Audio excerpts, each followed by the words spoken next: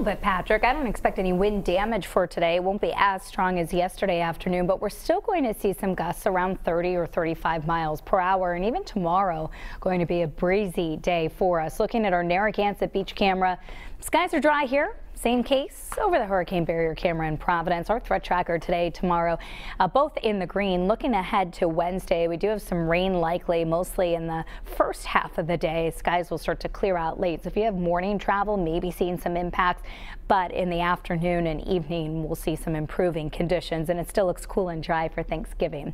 Out the door this morning, 30s. When I plan on dressing for wind chills that'll be dropping into the 20s at times, feels like 29 in Providence, 25 the wind chill in Smithfield, and New Bedford feels like 28.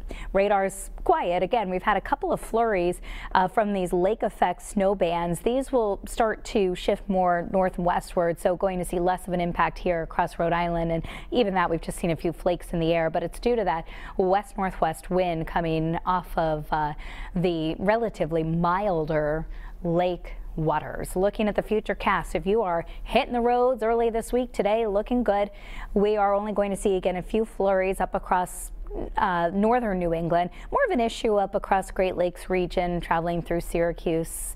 You'll see some lake effect snow today. Otherwise, tonight looking cold and dry, and tomorrow morning warming up be well into the 50s. Beautiful day across New England for traveling. And then looking into our Tuesday night and Wednesday morning, here come those showers. And again, it's a cold front that'll pick up some moisture and uh, lead to maybe half an inch to an inch of rainfall from first half of Wednesday. So it could be coming down moderately heavy at times. Blustery and cool for the morning commute this morning, 33 degrees.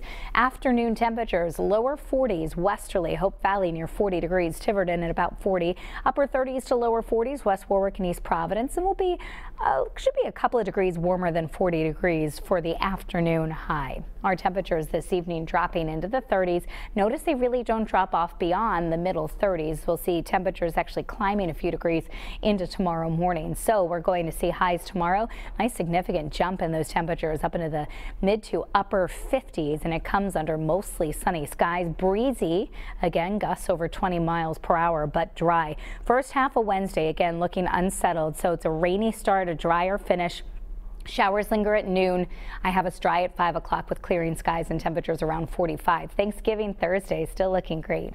We're looking at lots of sunshine in the morning. It'll be cool and dry. 8 o'clock temperature around 30 degrees. By 4 in the afternoon, we should be back down to around 42. Black Friday looking dry, 45 degrees, and just a passing light shower in the forecast for Saturday.